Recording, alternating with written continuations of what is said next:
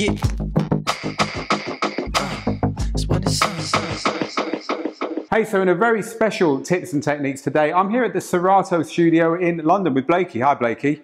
What's up? So we're going to go for a pro tip here. And this is especially for all you DJs who are rolling up at clubs with your age-old breakout box or audio interface and using DVS with Serato, the way you've done it for years.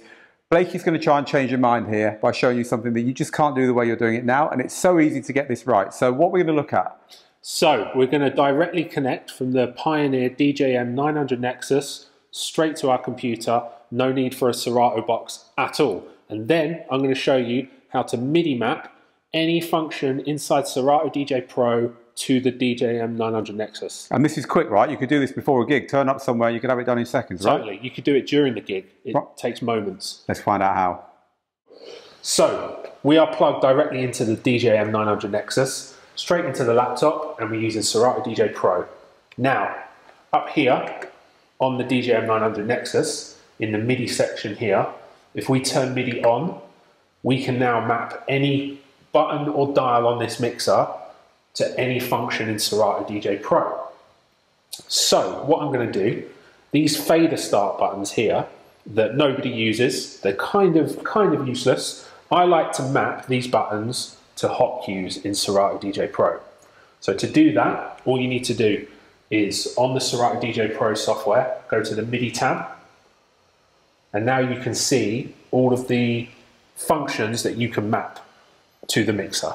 So what I'm going to do is I'm going to go to hot cue number one of the left deck it says click to assign MIDI. So I'm going to click that once, and now the software is waiting for me to press one of these buttons so that it knows which button I would like to assign that hot cue to. So I'm going to press this here, you press that, and now on the software you can see that it's turned blue and it says that it's assigned to that button.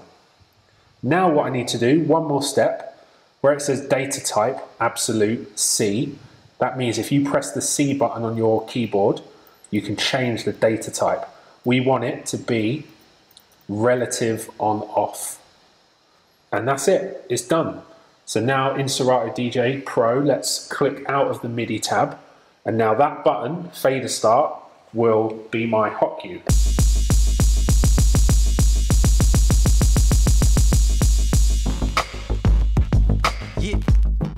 So that's really cool. You could have two cues on one deck and two on the other, for instance, Yep. and then you've got kind of like your basics sorted uh, in seconds. Yep. Is there anything more clever you can do? You've you obviously spent a while thinking about this. So uh, anything more clever that you like to do when you, uh, you So, get this chance? something I like to do, I love the echo out effect in Serato DJ Pro. So, what I'm going to do is I'm going to assign the um, amount here to one of the dials on the mixer.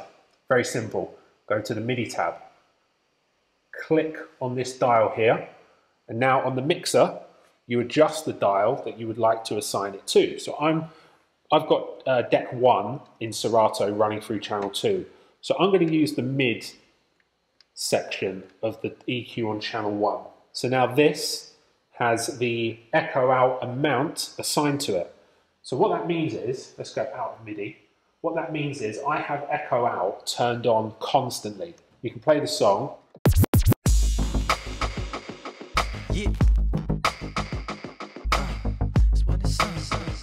So that will turn the effect up, and as soon as you turn it down, that will disengage the effect. Really simple, really useful as well.